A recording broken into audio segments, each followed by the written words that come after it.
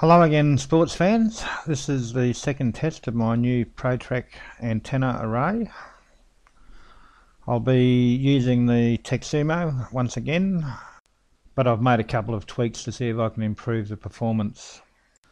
I've added a filter to the power supply lines for the video transmitter on the Tek-Sumo and I've changed the uh, antenna and I've also changed the omnidirectional antenna on the ProTrack. So it's a lovely sunny day, the winds are light and they're from the southeast, so uh, we throw the Tek-Sumo up and everything goes okay. I do a quick test of the autopilot and return home seems to be working and stabilise seems to be working. So I set a course um, in a different direction this time. I've been going out to the northeast and having troubles at around about four kilometres. At this time I'm heading out to the southeast and I'll be following the uh, river valley.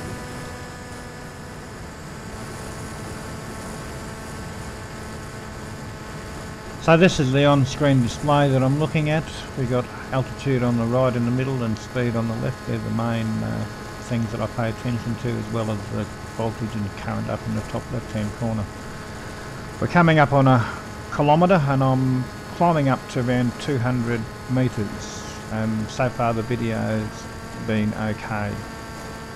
I've set the vertical alignment of the ProTrack antenna array to somewhere between 20 and 30 degrees and I intend uh, maintaining a lower altitude for this flight than for the previous test. I've also decided that I won't be adjusting the vertical alignment during the flight. So we're just coming up on uh, 1.5 kilometres and I'm at my 200 metres of altitude and so far the video is okay. And I decide to um, take the Tek-Sumo down a little bit lower to see how it affects the video.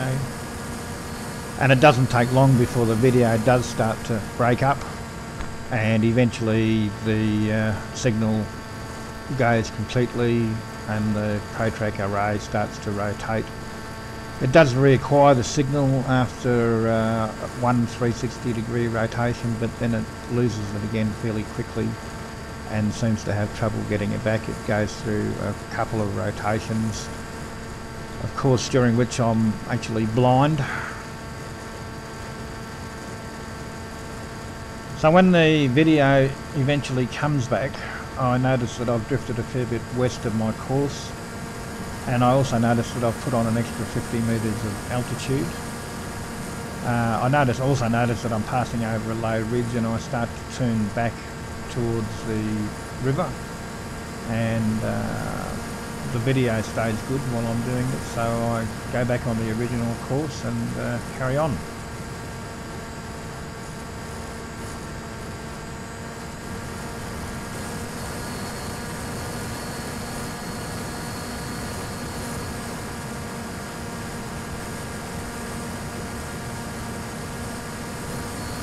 So I'm gradually letting the Tek-Sumo drop back towards the 200 metre altitude that I'm trying to maintain. So we're just passing three kilometres here and I'm uh, at about 220. I didn't notice it at the time but now that I'm looking at the onboard video I can see that the uh, RSSI actually starts to drop down significantly which is really unusual for the EDU HF system I use, particularly at this distance.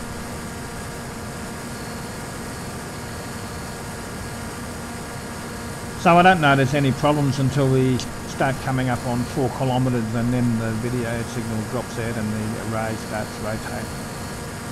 So once again I'm blind but I can see from the on-board video that the Tek-Sumo starts slipping in and out of failsafe mode which is set to increase the throttle to 50% and return to home.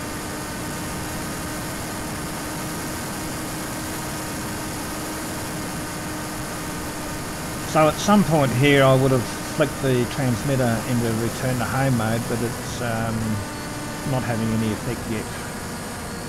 So you can hear the throttle drop back down to my standard cruising level which uh, indicates to me that I now have radio control of the plane again but I don't uh, have video yet. So I'm guessing it's this ridge that I'm coming up to that was blocking both the radio and the video and uh, it's still blocking the video. So needless to say, at this point I'm getting a bit nervous and I'm wondering whether the Tek-Sumo is still in the air. The uh, ProTrack array is still circling and I'm not really even catching glimpses so uh, I'm just not sure what's going on at this point.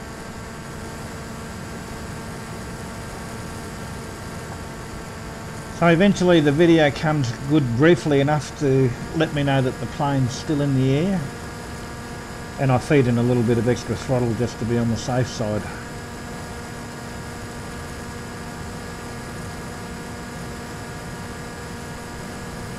So the video is still very scratchy. I'm getting enough glimpses to know that I'm still up in the air, but I'm, I've got no idea what the altitude or the distance is. I'm entirely dependent on the autopilot to do its job, which it's been doing very well.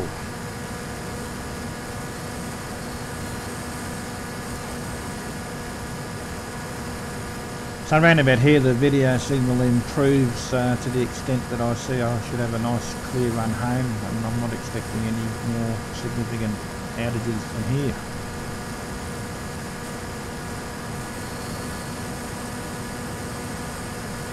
So from here I'm just over two kilometres from home, I've got plenty of battery which is unusual for me and I'm up at around the 200 metre mark so I'm expecting everything to go smoothly from here but I still get a couple of glitches from the, uh, the video, which surprises me.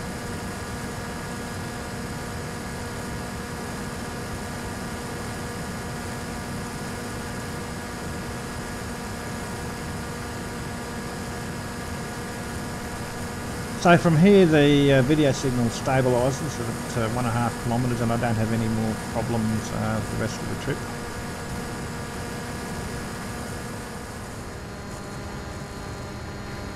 I'm still a bit drained from all the excitement so I let the return to home bring it home at the original altitude and uh, don't bother flying it down till I get home.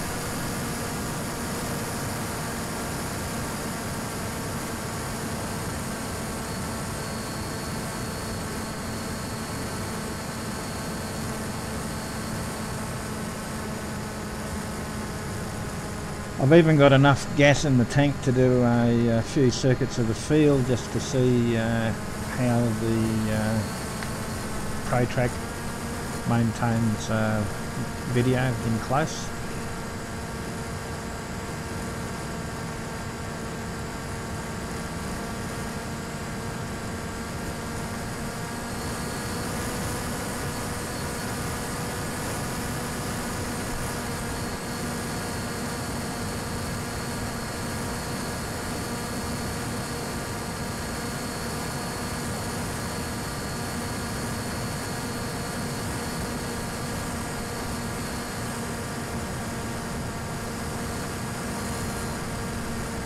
So the performance around the field has been really solid. I'm quite uh, pleasantly surprised after the uh, problems with the rest of the flight.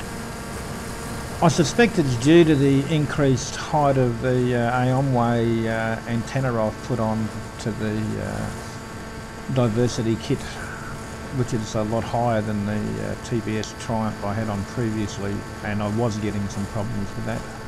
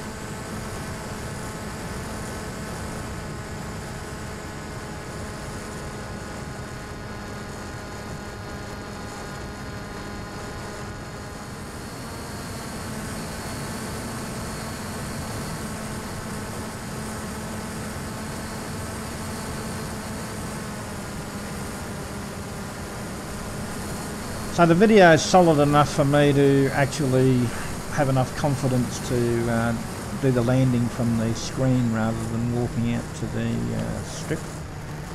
It's a bit short, but I'll take it.